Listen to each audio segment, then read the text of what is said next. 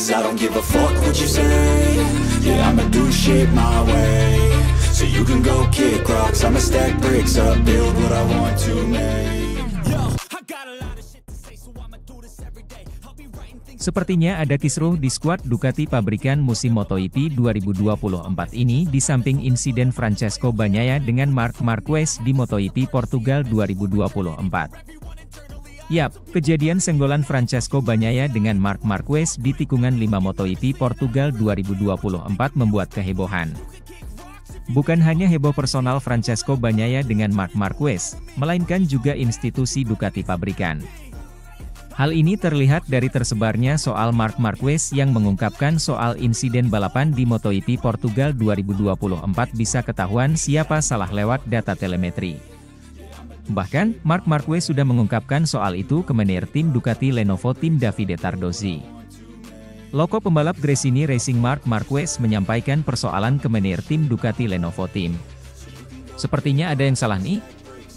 Sejatinya dengan jika ada pembalap MotoGP terlibat insiden yang kemudian dipanggil ke FIM MotoGP Steward duduk persoalannya. Masing-masing skuad ditemani manajer tim. Ducati Lenovo Team adalah Davide Tardozzi dan Gresini Racing adalah Michele Massini. Kebetulan kejadian insiden balapan Francesco Bagnaia dan Marc Marquez adalah sama-sama di bawah naungan Ducati pabrikan. Sedianya urutan komplain adalah Marc Marquez bisa komplain ke manajer tim Michele Massini dan Francesco Bagnaia mengajukan usulan ke Davide Tardozzi. Barulah pembicaraan melibatkan manajer tim masing-masing. Dulu saat masih ada Paolo Ciabatti sebagai sporting director Ducati Corse dia yang bakal menengahi apa-apa yang terjadi di antara pembalap Ducati. Jika masih deadlock baru kemudian melibatkan General Manager Ducati Corse Gigi Dall'Igna. Dengan kata lain pernyataan soal telemetri yang diungkapkan Mark Marquez kepada Davide Tardozzi untuk mengetahui siapa yang salah di insiden tikungan 5 MotoGP Portugal 2024 tidak pada tempatnya. Meskipun secara data pembalap Ducati bisa saling melihat telemetri masing-masing pembalap.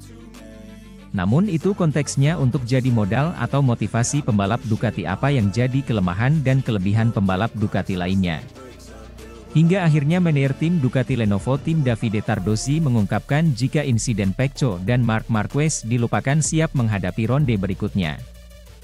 Sementara itu, juara dunia 8 kali, Mark Marquez mengaku tetap rasakan tekanan besar seperti di tim pabrikan walau sekarang dia berada di tim satelit Gresini Ducati. Pengakuan itu mulai dia rasakan setelah menjalani dua seri balapan MotoGP 2024. Termasuk setelah terjadinya insiden kecelakaan yang melibatkan dia dan pembalap Ducati Lenovo, Francesco Bagnaia di seri MotoGP Portugal 2024.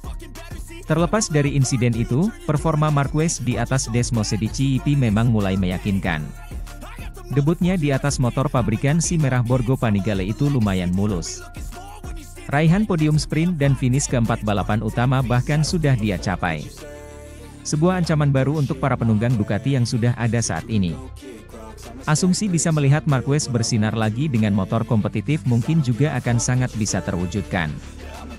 Namun di balik itu, pembalap asal Cervera, Spanyol tersebut juga mulai merasakan tekanan-tekanan besar.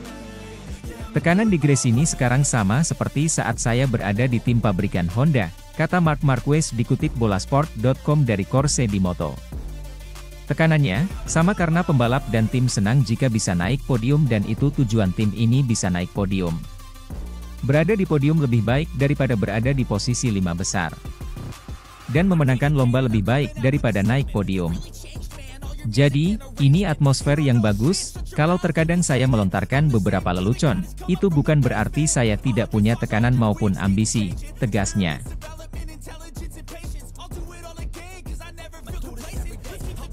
Mark Marquez merasa tekanan yang dia hadapi di Gresini Racing tidak kalah besar dengan di Honda, karena tim satelit Ducati ini memiliki ambisi yang sama dengan tim-tim yang jauh lebih besar.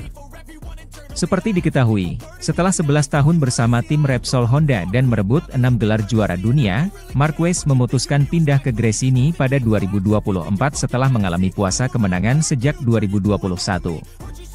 Tekanannya sama, karena para pebalap senang jika naik podium, tim senang jika naik podium, dan itu adalah target tim ini, ujar Marquez dilansir dari Motorsport, Senin, 1 April 2024. Berada di podium lebih baik daripada berada di posisi lima besar dan memenangkan balapan lebih baik daripada berada di podium, kata Marquez. Marquez pindah ke Gresini untuk mendapatkan motor Ducati yang lebih kompetitif. Di satu sisi Gresini, yang merupakan tim asal Italia dan dikelola oleh keluarga ini sangat berbeda dengan Honda yang lebih korporat. Marquez mengatakan lingkungannya saat ini lebih nyaman baginya setelah satu dekade bekerja dengan pabrikan besar. Jadi, memiliki atmosfer yang baik, bercanda, bukan berarti Anda tidak memiliki tekanan atau tidak memiliki ambisi. Ambisi kami sama dengan tim pabrikan karena kami di sini untuk memperjuangkan hasil terbaik, ujarnya. Namun memang benar bahwa jumlah orang dalam tim ini lebih sedikit dan lebih akrab, katanya. Perubahan itu berdampak cukup banyak pada diri Marquez. Pebalap asal Spanyol itu kini dapat menikmati lebih banyak waktu di luar lintasan bersama keluarga dan pacarannya. Saya selalu mengatakan atmosfer yang baik di dalam tim akan sangat membantu. Tapi di tim Repsol Honda, atmosfernya benar-benar profesional, katanya.